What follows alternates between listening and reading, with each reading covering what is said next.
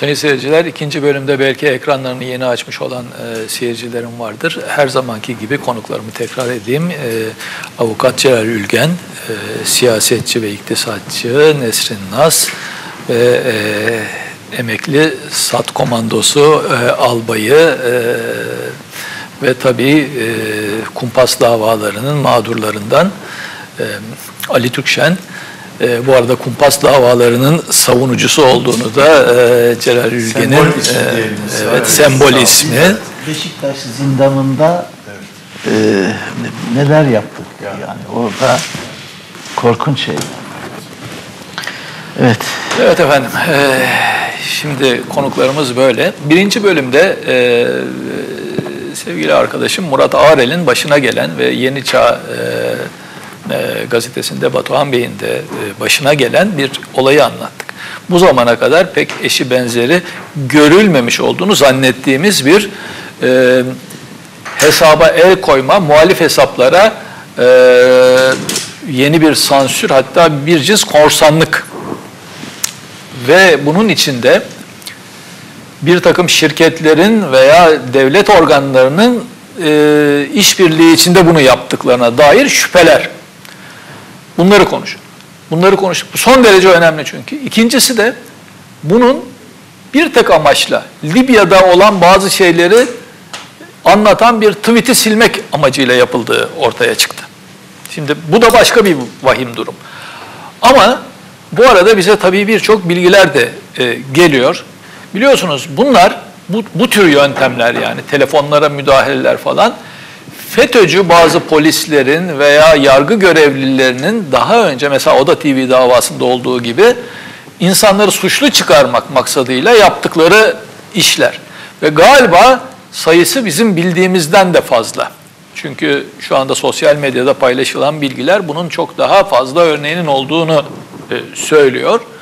E, tabii bunlar efendim e, Türkiye'nin önemli bazı e, nasıl diyeyim bilgisayar uzmanları tarafından Allah'tan kendileri iş edindiği için ve büyük bir gayretle bu sahtekarlıklar ortaya çıkarılmıştı. Öyle ki o FETÖ kumpas davalarının savunulacak tarafı kalmamıştı. Buna rağmen epey savunan çıktıydı. Ondan sonra da bunlar iskambil kağıdı gibi düştüler. Şimdi efendim e, bu e, davalarda da değil mi sizin şimdi temasa geçtiğiniz o davalardaki o alçaklıkları yapan, ortaya çıkaran, çıkaran. e, insanlarla da konuştunuz. Doğru. Biraz anlatır mısınız? Yeni gelen şu bir bilgi. şey ekleyebilir miyim Celal Bey konuşmadan önce siz şimdi hazır bu bu Evet. şeyler yöntemler dediniz bir de iddianameler var o dönemde hazırlanan Gezi davasında biliyorsunuz Gezi Şimdi ve oraya Osman da Kavala geleceğiz. yeniden kıymetlendirilme dediler. Evet, evet. Şimdi e, önce Koray Peksayar arkadaşım e, önce balyoz davasındaki e, birçok e, sahteciliği ve e, hard disklerdeki ve CD'lerdeki üretilmiş e, delilleri ortaya çıkarmıştı. Ve aynı zamanda biz balyoz davasında mahkemede hazır bulundurmuştuk ve tanık olarak da dinlenmişti. E, fakat daha sonra işin ilginç tarafı Tevfik Koray Peksayar başarılarına devam etti. Bu FETÖ yargılanması sırasında mor beyin dediğimiz olayı da ortaya çıkarttı. Şimdi reklam arasında e, Tevfik Koray Peksayar'la konuşma e, olanağı Ama Bey buldum. dediniz Baylok. Evet, evet, evet. Ee, konuşma olanağı buldum. Şimdi e, geldiğimiz sonuç sonuç şu. Bir defa ben e, Murat Ağrel'in e, cep telefonunun e, incelenebileceğini ve bu bir takım sonuçlar çıkabileceğini umut ettiğimi söylemiştim. Bunu doğruluyor Koray Peksayar.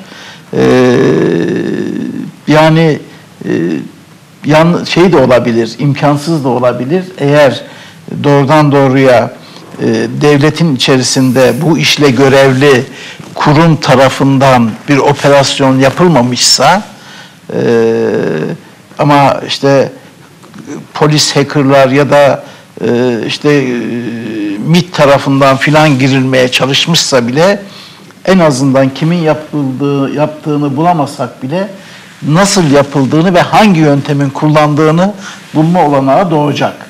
Öyle bir sonuç çıkıyor şimdi. Bu çok önemli bir bilgi. Evet, yani. evet, evet. Bu, bu açıdan yani e, kon- konuşmamız sırasında söylediğimiz şeyler de doğrulanmış oluyor önceki oturumda. Evet. Şeyle ilgili sizin Nesin Hanım söyleminizle ilgili sanıyorum yeri gelecek o konuda çok ayrıntılı şeyler açıklamalar. konu? Ee, bir sormuştunuz ya bana. Ha bu yeniden kıymetlendirme Evet, o meselesi. kıymetlendirme son- Gezi davasına da başlayacağız. Yani ben onu şey olarak ilave ettim. Yani sadece Tabii, tabii, bu tabii, tabii, e, delil yerleştirme işte şeylerde falan değil yöntem. Yöntem iddianamelerin hazırlanmasında her şey, da. tabii, tabii. Ve o iddianameler aynen yani copy paste alınıyor. Tek bir satırı kelimesi değiştiriliyor. Evet, evet. Hatta maddi hatalar de aynen aynı ama yeniden kıymetlendirilmiş oluyor. şey yeniden kıymetlendirilme Evet, deniyor. evet. Siz hukukçusunuz tabii. Yani bir Yok, davadan bir şey beraat yok. edenin aynı davadan yeniden yargılanması herhalde e, yani evrensel hukuk standartlarında böyle bir şey yoktur. Aynı davadan. Evet. Osman Osman'ın da durumu neyse yani bu sonraya Evet, bırakalım. e, ben yani siz- oldukça e, ayrıntılı incelenmesi gereken Evet. bir konu. Tabii, tabii, E, geçerken değil de daha Geçerken derin değil, e, daha şey, evet. inceleyelim. E, şimdi tabii efendim Libya meselesine bir gelelim. E, bütün bu konuştuğumuz mesele Libya'da olan bazı şeylerin e, saklanması üzerinde yapılmış bir operasyon. Ne kadar e, bundan e, endişe duyuyorlarsa artık. Peki ama Allah aşkına o zaman e, mesela Halk TV'nin e, Halk TV.com.tr e, bu haberi şöyle vermiş. E, Libya'daki şehitleri duyuran Yeni Çağ yazarlarının hesaplarına el konuldu. Halk TV.com.tr bir haber daha vermiş. Ulusal Libya ordusu. Bakın bu Hafter'in ordusu neticede şu anda Türkiye'nin düşmanı. Dolayısıyla bu vereceğimiz haberi o gözle okuyun. Bir e, savaş propagandası olabilir bu. E, onun için e, buna inanın diye söylemiyorum. Ama yurt dışında neler konuşuluyor? E, Türkiye hakkında neler konuşuluyor? E, ve Türkiye bu konuyla ilgili düzgün açıklamalar yapmazsa içimizde de insanlar buna nelere inanabilir? Bakın e, Ulusal Libya ordusundan 16 Türk askerinin şehit olduğu ve 100 paralı askerin öldürüldüğü iddiası. Paralı asker diye kastettikleri işte herhalde ÖSOCU gruplar. O böyle bir haber olarak verilmiş. Yurt dışında yayılıyor. Dediğim gibi Hafter grubunun e, şeyidir bu. Türkiye'nin düşmanıdır neticede şu anki savaşta. Bu bir savaş propagandası olabilir. Dolayısıyla buna inanmanız için söylemiyorum ama e, Türkiye'de kendi savaşla ilgili bilgileri, çatışmalarla ilgili bilgileri sağlıklı olarak vermediği takdirde, çünkü her devlet buna son derece önem gösterir e, savaş sırasında veya çatışmalar sırasında. Bunu vermezseniz siz ortalıkta e, sadece sizin düşmanlarınızın lafları dolaşmaya Kara başlar propagandaya meydan verirsiniz. meydan verirsiniz. Onun için e, bir an evvel böyle efendim hacker operasyonları yok MIT operasyonları şu bu operasyonu her neyse tamam yani hesaplara e, gidip tweetleri silme işleri bu bir devletin veya işte kendini devlete yakın gören birilerin yapacağı ciddiyette işler olmaması lazım aslında. Onun yerine doğru dürüst sağlıklı bir bilgi verilmesi lazım. Bunu söyledikten sonra bakın bir başka konuya daha gelelim. Ee, Sayın e, Cumhurbaşkanı bir konuşma yaptı. Onun VTR'sini verelim. O, onun sonunda da ne diyor? İşte Libya'da biz şu kadar insan öldürdük, bu kadar da vesaire falan. Ee, onu bir izleyelim efendim. akıbeti ne olur? Bunların durumu bu. Ve şu anda biz neredeyiz?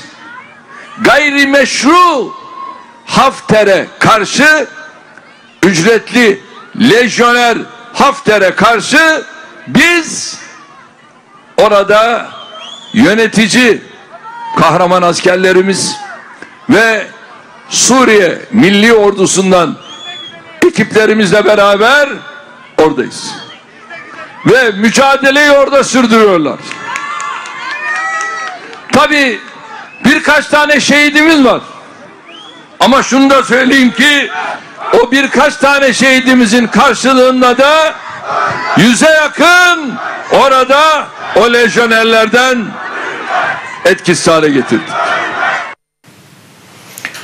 Şimdi efendim, tabii bu bir açıklama değil. Yani benim demin kastettiğim türden e, bilgilendirme değil. E, yani askeri makamların yapacağı türden e, bir açıklamadan bahsetmiştim. Ama burada işin e, bir şeyi var, e, problemi var. E, daha önce Ali Türkşen e, buna zaten tepkisini gösterdi. Birkaç tane e, ifadesinin kendisinin ne kadar problemli olduğunu. Ama bir de şunu e, dinleyelim. Bu konuşmanın sonunda da vardı. Şehitler Tepesi boş kalmayacak. Şehitler Tepesi boş kalmayacak. Bunu Sayın Cumhurbaşkanı çok fazla kere söylüyor. Birçok e, konuşmalarda bunu yaptı. En son bu konuşmada da yaptı. Bir dinleyelim. Tabii birkaç tane şehidimiz var. Ama şunu da söyleyeyim ki o birkaç tane şehidimizin karşılığında da yüze yakın orada o lejyonerlerden etkisiz hale getirdik. Kardeşlerim şunu hiçbir zaman unutmayacağız. Şehitler tepesi boş kalmayacak. Şehitler tepesi boş kalmayacak. Evet. Burada iki kere tekrarlamış e, bizim arkadaşlarımız.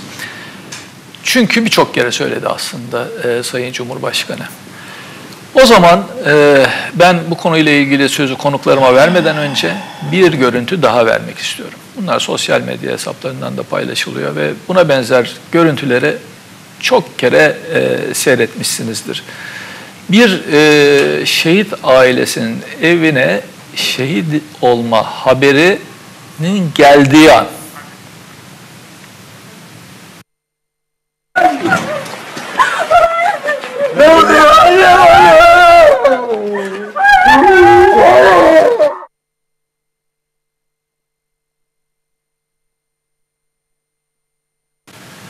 Efendim, burada tabii ben sadece 3-5 saniye o ağlama seslerini verdim ki bu duygu gözüksün diye. Aslında haberin yani görüntünün orijinalinde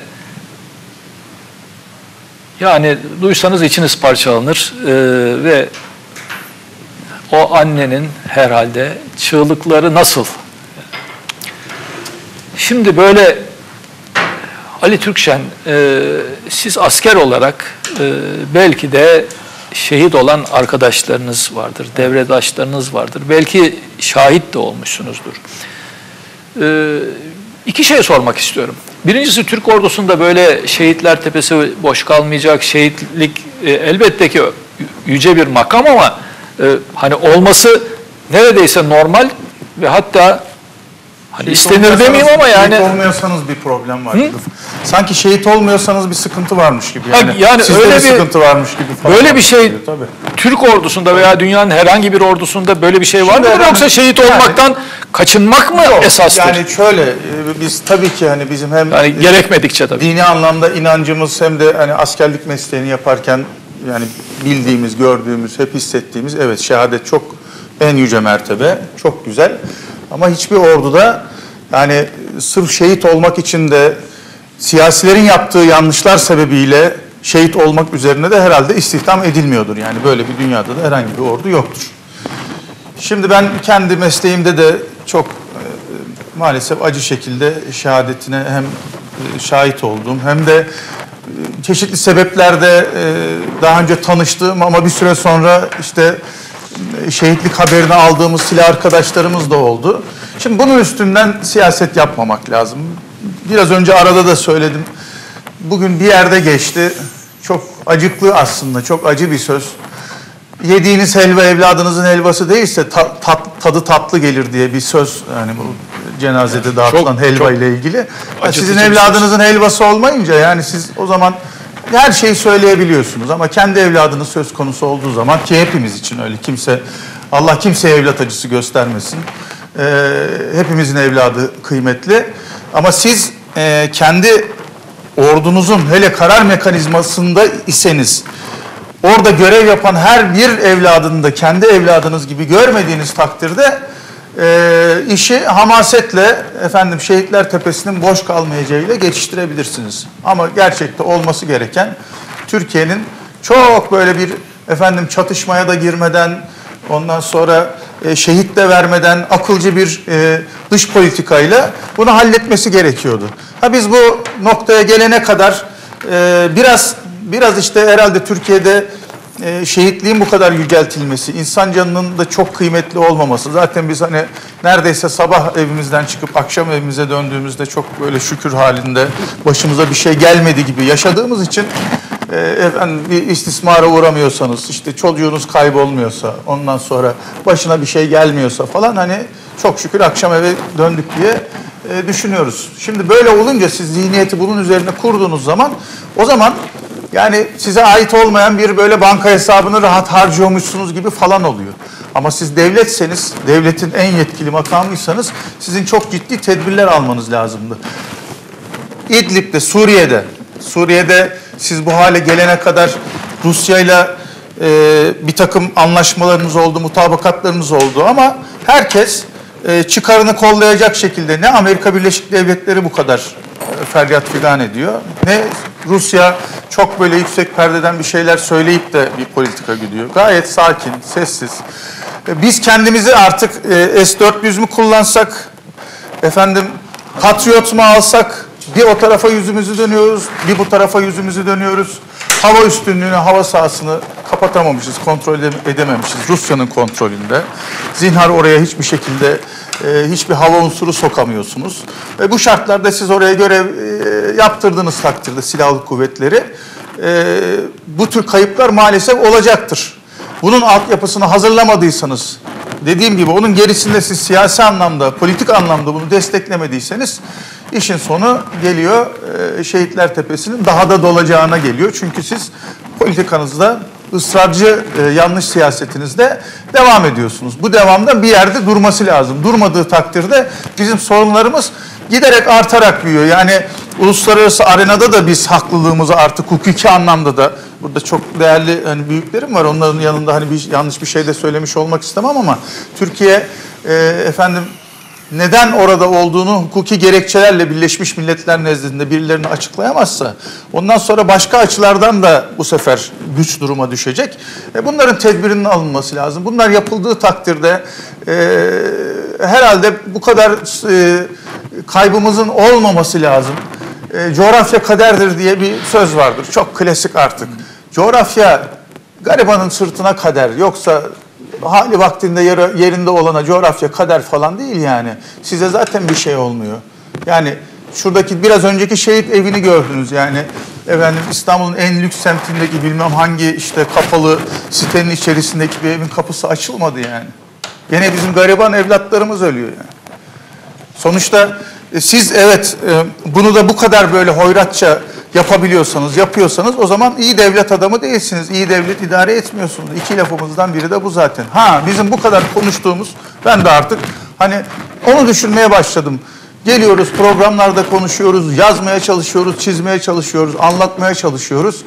Herhalde bizim hani ya evet bunlar da galiba doğru söylüyor. Biraz da şöyle bakalım diyecek bir zihniyet asla yok zaten. Hani bize bakıyorlarsa bu programları da dinliyorlarsa tek dinleme sebepleri hani buradan bir suç unsuru çıkar mı? Ağızlarından bir yanlış bir şey söylerlerse biz ona dava açabilir miyiz falan diye onun için dinliyorlardır. Yoksa içinden hayırlı bir cümle söyle, söylüyorlar da biz de evet ya şu kamuoyunun sesini dinleyelim falan diye değil. Ama bunları da yapmak lazım.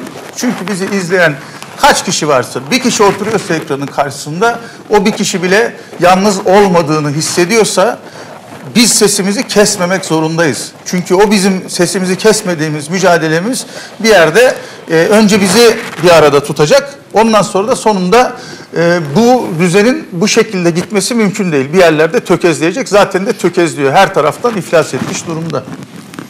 Evet, e, şimdi efendim e, bakın Libya meselesi hakikaten nereden baksanız artık enteresan diyeyim bari ne diyeyim. Bir orada gemimizin vurulduğu söylendi. Bizim e, devlet yetkililerimiz e, yalanladı, e, isabet etmedi dedi. Şimdi isabet etmediği yerden şehit haberleri geliyor. Yani şimdi bu kadar çabuk bazı şeyler e, ortaya çıkacak ise böyle mi anlatılır? İşte demin benim eleştirilerim biraz buraydı, burayaydı. Ama başka bir sorun daha var. Bakın e, göstereyim arkadaşlar versinler. E, İtalya'da bir Türk gemisi gözaltı, yani kaptanı da gözaltına alındı. Silah taşıdığı iddiası var. Yani uluslararası basında içinde ne taşıdığının ayrıntısına kadar var öyle söyleyeyim. Yani öyle böyle şeyler değil. İddiaya göre. Yani. E kaptan da sığınmacılık karşılığında şey olmuş. İtirafçı olmuş. En son gelen haberde böyle. Buyurun Rıza Zarrab'dan sonra Nur Topu gibi bir başka itirafçı daha. Türkiye'nin başını acaba daha başka nasıl belaya sokmak e, lazımdır diye özel mi düşünülüyor, ne yapılıyor bilmiyorum yani. E, ne dersiniz? Şimdi e, önce şunu söyleyelim. E, gemiden hareket ederek biz Libya'da ne yapıyoruz? Yani niye Libya'dayız? E, ulusal yarar diyorlar. Burada bir parantez açayım. Üstelik ben ulusal yarar diyorum. Onlar ulusal çıkar diyor. Bana göre kişisel çıkar olur ama ulusal çıkar olmaz. Ulusal olduğu zaman o yarardır. Şimdi ben onun için düzelterek ulusal yarar diyorlar. Ulusal yarar ama sen ulusal yararımız var deyip de Libya'da, Suriye'de veya bir başka yerde olamazsın. Sen ancak topraklarına karşı bir saldırı, saldırı varsa e, onu püskürtebilirsin. Kalkıp da Libya'da ulusal yararım var dersen yarın öbür gün de e, başka yerde ulusal yararım var dersin. Bir defa bunu tespit etmek lazım. E, şimdi bir konuda şu, Buyurun. İdlib'de şimdi e, kiminle karşı karşıyayız? E, Libya'da kiminle karşı karşıyayız? Fırat'ın doğusunda kiminle karşı karşıyaydık? Fırat'ın batısında İdlib'de kiminle karşı karşıyayız diye baktığınız zaman ya bir yerde işte PKK dediniz, bir yerde Libya'daki e, rejime karşı unsurlar dediniz, öbür tarafta Suriye'de de rejime karşı dediniz. Ya bu, bu nedir ya? Bu nasıl bir anlayıştır? Ben onu anlamıyorum. Yani bir defa kendinize karşı bir e, tutarlı olmanız, doğru olmanız gerekir. Tutarlı olmak da, istikrarlı olmak da yetmez. Çünkü istikrar bazen yanlışta da istikrar olur. Yanlışta da tutarlı olabilir insan. Biz yanlışta tutarlıyız. Yani böyle bir şey olabilir mi? Şimdi devletinden bakarsanız bakın, siz bugün Libya'da ya da İdlib'de e, rejimle eğer savaşabilecek durumdaysanız, savaşıyorum diye söylüyorsanız o zaman bir sorunu çözmüş olmalısınız. Hangi sorunu? Güneyimizde bir Kürt devleti kurulma olasılığını halletmiş olmalısınız. PKK ile olan savaşınızı bitirmiş olmalısınız. Ee, bunlar olmadan nasıl yapabilirsiniz? Bu bir. İkincisi, biraz önce söyledim, bir üçgen var. Bu üçgende e, Sovyet, Rusya, Amerika ve Türkiye. Rusya Esad'ın yanında, e, Amerika Esad'ın karşısında. Siz e, Rusya'nın yanında ama Esad'ın karşısında. Siz Amerika'nın yanında e, yani öyle bir e, şey yumağı haline gelmiş ki sorunlar yumağı haline gelmiş ki dış politikamız e, çok affedersiniz bir hafif meşrep dış politika haline gelmiş. Yani ulusal bir dış politika olmaktan çıkmış kişiye göre, tek adama göre, tek adamın niyetine göre, tek adamın ajandasına göre belirlenen bir dış politika olmuş. Bu nedenle bu dış politikadan kurtulmadıkça e, büyük bir bataklığa saplanmak kaçınılmazdır. Evet, e, efendim madem öyle bir e, görüntü de e, vereyim. Aslında meselenin e, bir başka noktasına değinelim. Şimdi farkındaysanız bir sürü bilgi geliyor, bir sürü görüntü geliyor. Bu bilgi ve görüntülerin çok büyük bir bölümünü vermek istemiyorum. Ama bu görüntüyü vermek zorundayım. Tank teğmeni Ali Emre Fırıncıoğlu. Bu görüntü sosyal medyada paylaşıldı doğrudan doğruya. Şehidimiz İdlib'de. Bir gün önce video çekmişti. O videoda konuşuyor. Gencecik. Pırıl pırıl bir çocuk. Onu izleyelim efendim de ondan sonra konuşalım. Durum bu. Dünkü uçak saldırısında zor kurtulduk. Saklandık. Etraf hep böyle. İyi saklandık yani.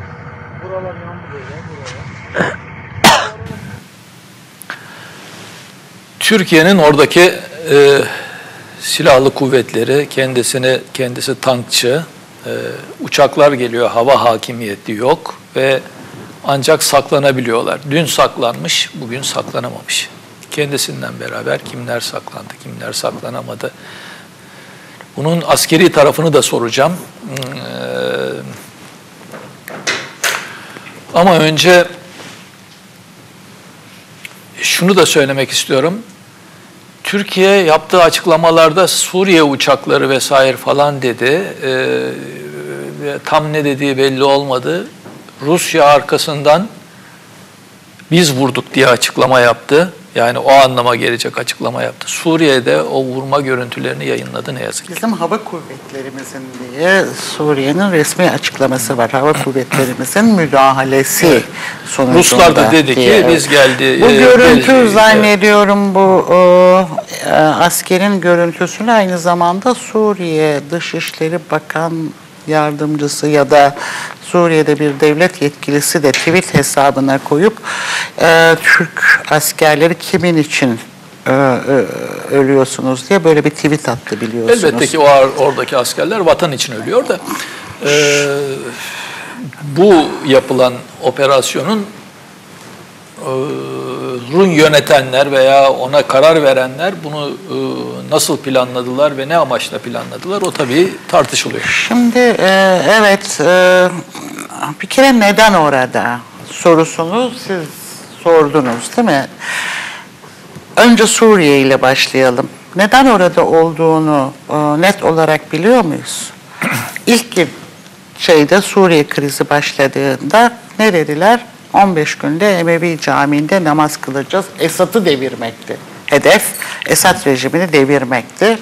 E, ve Suriyelilere e, kendilerine göre bir e, yeni bir e, daha özgür bir rejim getirmekti. Sonra o hedef unutuldu. Bir tarafa atıldı. Sonra Türkiye'ye tehdit olarak bir Kürt devleti kurulmasını önleme amacına dönüştü. Şimdi o da yok. Onu da o, o da unutuldu. Şimdi birdenbire e, işte İdlib'de sonuna kadar bu topraklarda kalacağız gibi bir hedef var. Ve hatta Suriye'ye e, şey veriyoruz biz uyarı veriyoruz. Yani şu hatların gerisine şu tarihe kadar çekilmezseniz var gücümüzle biz buraya gireceğiz diye.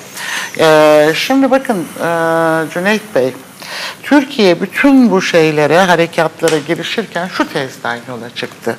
Sahada olmayan masada olmaz gibi saçma bir tezle yola çıktı. Şimdi bu bir komşu, sınır komşusu olan bir ülke için hiç de geçerli olmayan bir tez. Siz burada sınır komşususunuz. Suriye ile bağınız var. Siz her halükarda sahada olmasanız bile o masanın doğal bir üyesisiniz. O masada doğal olarak olması gereken en şey başta gelen ülke sizsiniz. Çünkü ister istemez o ülkede olacak her türlü e, gelişme, her türlü tehlike, tehdit sizi doğrudan doğruya etkileyecek. Şimdi ne oldu? Var gücümüzle sahadayız ama masada değiliz. Artık masada olamayacağız. Şimdi Türkiye şu anda hem Suriye'de hem de Libya'da kendisinin dahil olduğu bu sorunun çıkmaza girmesine, daha da çıkmaza girmesine, çözülmemesine ve çözümün gecikmesine katkıda bulunuyor. Ve ancak bunu böyle yaparak, yani sorunu uzatarak, sorunu çözülmez hale getirerek kendinin söz hakkı olacağını düşünüyor. Şimdi muhataplarınızı bıktırmak bir politika olabilir. Ee, bu şekilde bir kazanım elde edebileceğinizi düşünebilirsiniz. Bunu daha önce Amerika için uyguladılar biliyorsunuz.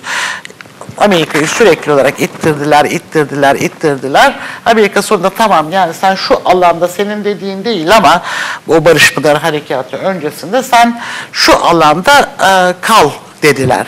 Ama bu demokrasiyle yönetilen ülkeler için kısmen onları ikna edebilirsiniz. Rusya gibi bir ülkeyi buna ikna edemezsiniz. Bu- Bunu yapamazsınız. Kaldı ki o Barış Pınarı Harekatı'nda Amerika ile yaptığınız anlaşma sonrasında sizin Rusya ile imzaladığınız Soçi mutabakatını bozdunuz. Niye Soçi mutabakatını bozdunuz? Çünkü siz Soçi'de ne demiştiniz? Demiştiniz ki ılımlı muhalif güçleri bu tarafa doğru çekeceğim. Diğerlerinin de işte silahlarını bıraktıracağım. Onun için şu kadar gözlem evi kurulması konusunda anlaşmıştınız. Amerika ile yaptığınız Barış Pınarı Harekatı'ndan sonra birdenbire o ılımlı dediğiniz güçler, ÖSO güçlerini Suriye Milli Ordusu'na dönüştürdünüz. Adını öyle Şimdi adını. Suriye Milli Ordusu dediniz. Şimdi Rusya haklı olarak diyor ki Rusya başından itibaren. Şimdi sakın benim Rusya'yı şey yaptığımı falan düşünmeyin ama başından itibaren hep açık oynadı. Kartlarını hep açık bir şekilde masaya koydu. Rusya diyor ki bu Suriye Milli Ordusu nereden çıktı? Yani biz ılımlı muhalifleri burada tutup diğerlerinin silahlarını alacakken siz bunları onlara katarak bir Suriye Milli Ordusu Soçi mutabakatına siz uymadınız. Tek taraflı olarak bozdunuz diyor.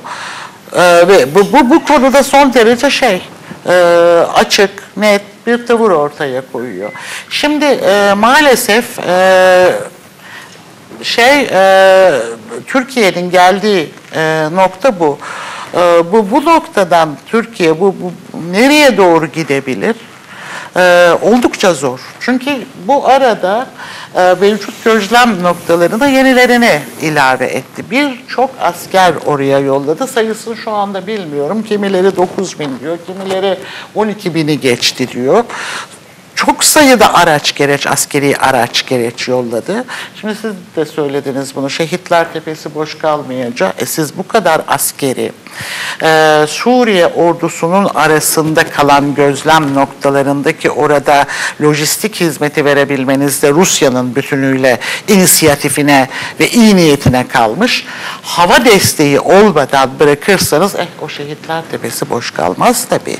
Şimdi Libya'da da aynı politika. Sürekli olarak ittiriyorsunuz. Yani bir yere doğru ittiriyorsunuz. Şimdi bakın bir takım ufak tefek kazanımlar elde edebilirsiniz. Yani sonunda Rusya'da bana öyle geliyor ki Türkiye ile bu şekilde çatışmayı sıcak bir savaşın koşullarının oluşmasını istemez. Eninde sonunda daha dar bir koridorda geçici olarak işte burada bulun, işte o ılımlı güçleri buraya al gibi bir anlaşma e, olabilir. İşte 5 Mart galiba 5 Mart'ta 5 Mart'ta bir e, Almanya ve Fransa'nın da katılacağı bu dörtlü toplantıda Avrupa Birliği'nin de bastırmasıyla böyle bir hat üzerinde anlaşılabilir. Ama sorun orada bitmiyor.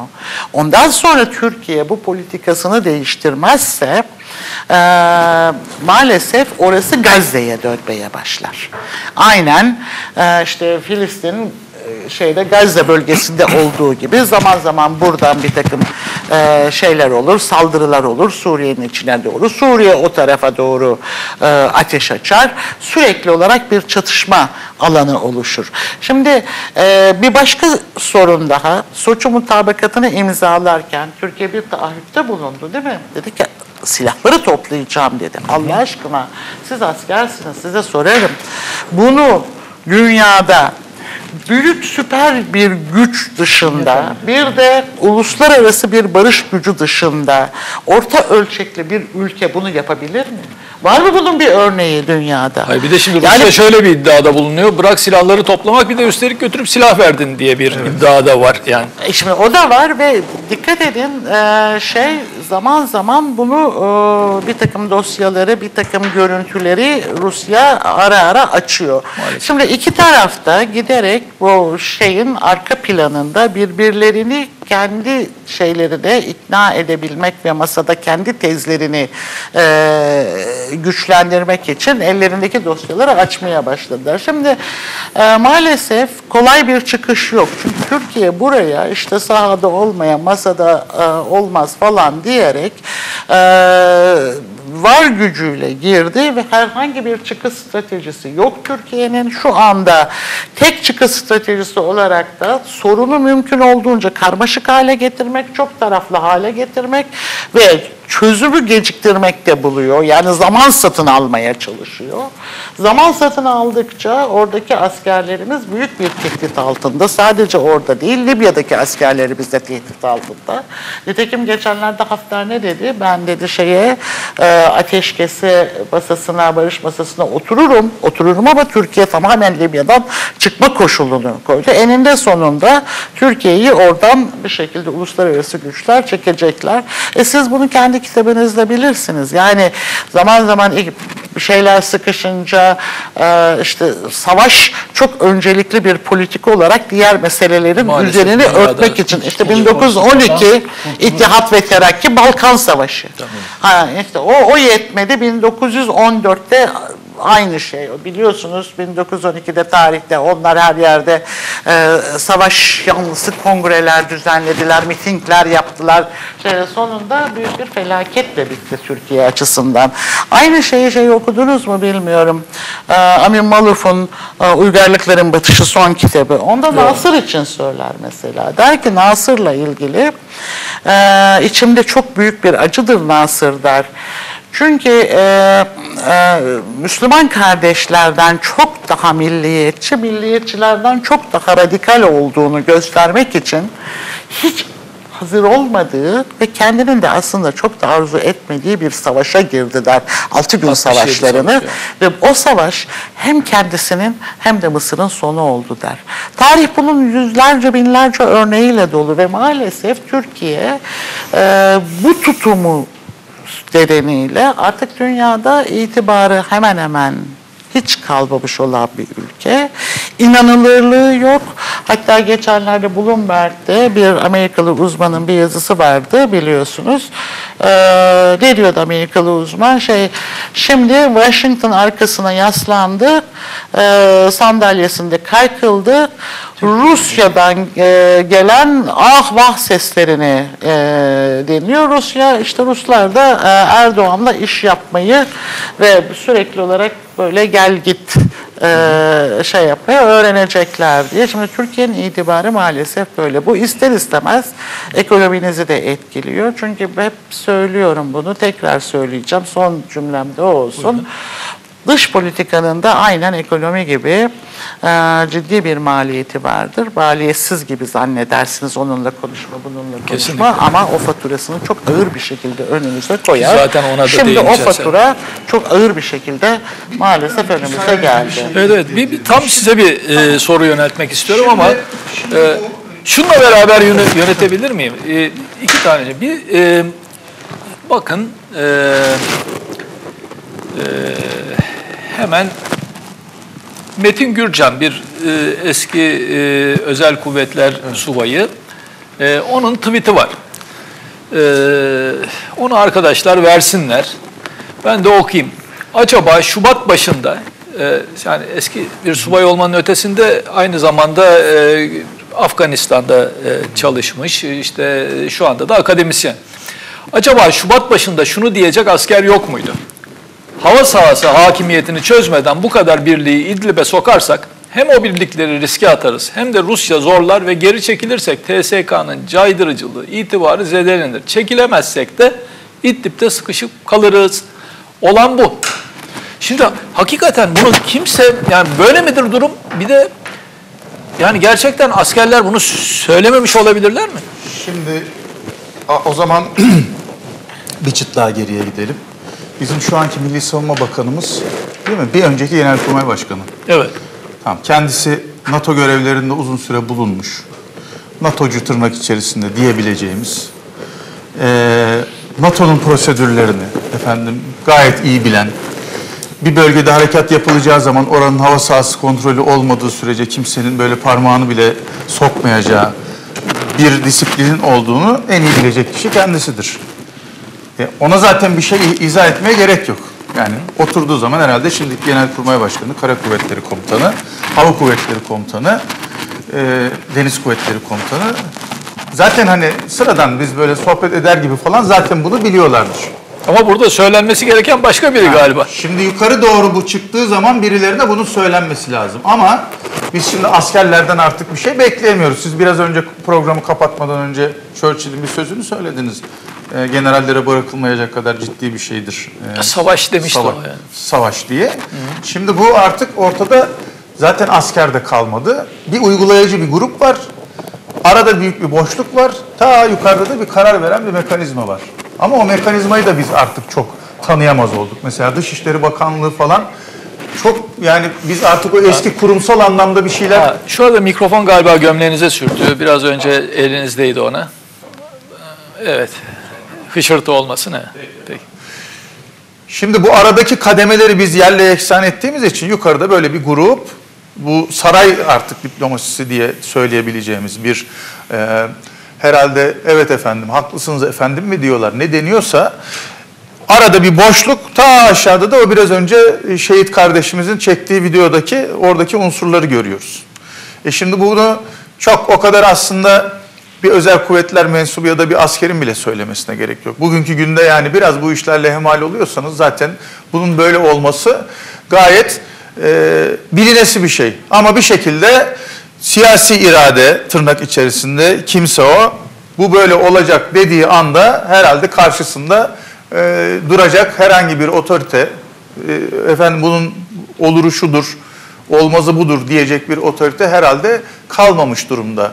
Zaten biraz önce benim hani ta ilk başta bizim kurumlarımızın bu kadar yerle yeksan edilmesiyle ilgili söylediğim e, min aslında bir ucu da liyakat sistemi hani zaten Türkiye'de çok öyle bir olası olan bir şey değildi. Şimdi bu 15 Temmuz'dan sonra silahlı kuvvetlerin üzerinde de çok ciddi bir şekilde e, ilk 15 Temmuz'un hemen arkasındaki bir iki seneyi saymıyorum. Şu son dönemi de özellikle kastederek söylüyorum.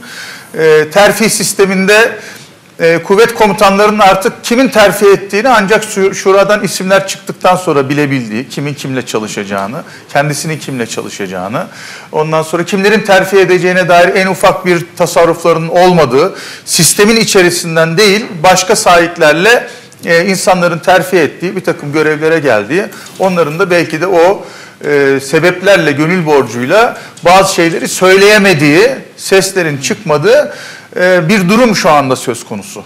Ama bunun en sonunda işte bütün bu e, arızalı mekanizmanın sonunda tabii ki siz Şehitler Tepesi'ni bolca beslersiniz. Yani Allah göstermesin. Bir daha gene söylüyoruz hiç olmasın. Yani biz şununla gurur duymamalıyız. Bizim Şehitler Tepemiz boş kalmayacak. Lütfen efendim boş kalsın yani. Orada hiç çın çın ötsün yani. Hiç, hiç kimsenin sesini duymayalım. Biz evlatlarımız öldüğü zaman mı yoksa Mevcutlarıyla kutsallığını sürdürsün. Sürdürsün. Ama yenisi gelsin. Ama evet ya olmasın Mesela. yani biz biz evlatlarımızın e, geleceğine güvenle baktığı efendim e, güzel bir ülkede yaşamaları için dua etmek yerine hani şehitler tepesi dolsun diye ya da dolacak diye böyle bas bas bağırırsak o o zaman iş başka tarafa gidiyor. Bu sefer e, siz belki de bu kadar bağırmanın sebebi bir takım yanlışları örtmek maksadıyla da yani sürekli bir şeyi yüksek sesle tekrarlıyorsanız aslında kendi bir takım hatalarınızı örtmek için söylüyor da olabilirsiniz. Efendim biraz önceki konuya bağlantılı olarak belki şu ana kadar da çok da gündeme gelmedi. Oradaki aslında İdlib'le ilgili sebeplerden bir tanesi de oradaki göcü, göçün durdurularak e, o sığınmacıların Türkiye'ye gelmesini engellemek ve oradaki bir takım güvenli bölgelerde yerleştirilmeleri hatta bize Orada gelenlerin şey de yok. geri gönderilmesi falan. şey de yok da yani. Biz Onunla- şimdi ama onunla ilgili de Rusya ile aramızda çok derin bir anlaşmazlık var. Çünkü Rusya diyor şimdi İdlib'de normalde nüfusu 800 bin ila 1 milyon arasındaydı. Türkiye İdlib'de gözlem evlerini kurup da işte ben bütün ılımlıları buraya toplayacağım, diğerlerinin de silahlarını alacağım deyince nüfus 3 milyona çıktı biliyorsunuz. Rusya yukarı doğru sürmeye başladı Suriye hepsini. Şimdi Rusya diyor ki bunların içinde Suriyeli olan az zaten diyor. Yani bunların içinde kendinin tehdit olarak gördüğü insanlar çok. Yani işte onun eski cumhuriyetlerden gelen e, Rusya onların hepsini imha etmekten yana. Birincisi bu. Yani Rusya ile böyle bir anlaşmazlık var. İkincisi geride işte kalanları da o da diyor Türkiye'ye sen ne yapacaksan yap diyor. Şimdi Türkiye burada bir şey önce işte orada TOKİ evleri yapacağım dedi. Avrupa falan da böyle bir şey para vermem dedi. Sonra bir 25 milyon euro işte o biriket bilmem biriketle evler yapalım. O, o da zaten dişinin kovuğuna gitmez. Şimdi ama genel olarak Suriye'nin tamamında çok büyük bir problem var. Çünkü Rusya eninde sonunda bakın Türkiye bunu öngörmüyor. Rusya eninde sonunda Amerika ile ve Avrupa ile uzlaşmak zorunda. Çünkü tüm Suriye'nin e, temel altyapısının ayağa kaldırılabilmesi için 500-600 milyar dolar gibi bir paraya ihtiyaç var. Bu yok Rusya'da. Rusya bunun altından kalkamaz. Türkiye de kalkamaz bunun altından. Hiç kimse Pek kalkamaz. kimsenin kalkabileceği O nedenle. Avrupa'ya ve Amerika ile uzlaşmaya ihtiyacı var. Bu uzlaşmada kabak Türkiye'nin başına patlar. Yani Türkiye şimdiye kadar kendisi bir oyun kuracak güce sahip değil. Tamam. Yani bu- o, o nedenle bugün ne kadar hep oyunu bozan olarak hareket etti. Ama artık bozacağı oyun kalmadı. Bozabileceği oyun da kalmadı. Evet, bozabileceği oyun bu kalmadı. e, mülteci ya da sığınmacı sorununa ne kadar girdiysek Avrupa Birliği de gayet böyle sessiz sedasız zaten Türkiye bu yükü üstüne aldı diye çok da fazla da girmedi de çekti kendisini. Biraz önce araya girince tekrar yani unutmuş olmayayım. Siz Rusya ile bir mutabakat içinde gözüküyorsunuz. Bu işleri beraber götüreceksiniz. Peki ben yukarıda mesela Kırım'da 200 milyon dolarlık bir e, yardım açılmasının ve ziyaretin Rusya'nın en böyle hassas olduğu konuların e, kaşınmasının. Ne gibi bir fayda olduğunu, yani Türkiye'ye nasıl bir fayda sağladığını, Türkiye'yi nereden nasıl sıkıştırdığını onu da anlamadım mesela. Yani o da çok çok da çok da anlaşılabilir bir şey değil. Yani sonuçta bütün bunların hepsinden Türkiye pek kazançlı duruma bugüne kadar şu ana kadar çıkmadı. Bu politikada da ısrar ederse bundan sonra da çıkacak gibi gözükmüyor. Kazançtan geçtik. e, Ne kadar büyük zararların olduğunu birazdan Evet. e, rakam rakam gösteririz. Çok kısa bir şey. Bir reklama girmemiz lazım. Biraz açtık çünkü. Tamam. Ee, efendim şimdi e, gelelim bunun devamına. Bakın e, bunun son derece enteresan devamı var. E, çünkü yarıda kaldı bu İdlib meselesi. E, bunun devamını biraz sonra konuşacağız. Ve sadece tabii onları konuşmayacağız. Çok daha başka konularımız da var. Ama hakikaten bazı şeyleri duyduğunuzda ee, işte yorumlarınızı zaten okuyorum buradan. Bizden ayrılmayın efendim. Ee, Yeni konular, e, yeni ayrıntılar, yeni haberlerle.